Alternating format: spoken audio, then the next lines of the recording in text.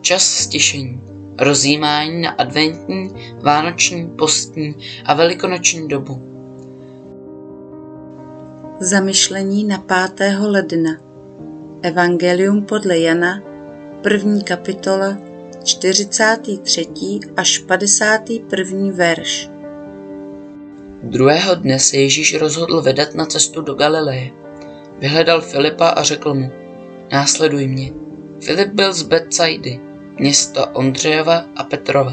Filip zase vyhledal Natanaela a řekl mu, nalezli jsme toho, o němž psal Mojžíš v zákoně i proroci, Ježíše, syna Josefova z Nazareta. Natanael mu namítl, z Nazareta, co odtamtud může vzít dobrého? Filip mu odpoví, pojď a přesvědč se. Ježíš spatřil Natanaela, jak k němu přichází a řekl o něm, hle, pravý Izraelec, v němž není lsti. Řekl mu Natanael, odkud mě znáš?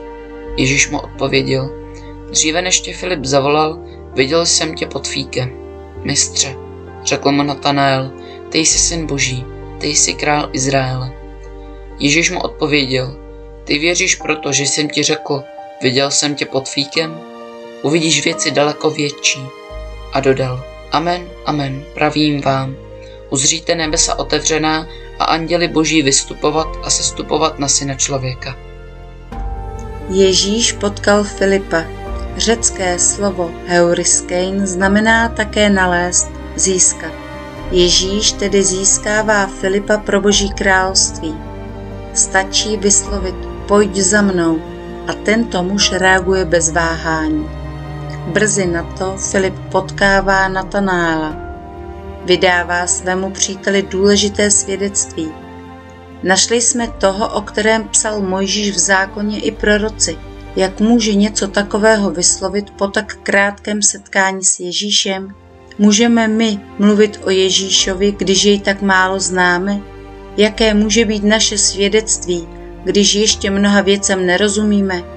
Evangelijní úryvek má být podnětem proto, abychom hlásali, kým Ježíš je i když to sami pro sebe ještě objevujeme.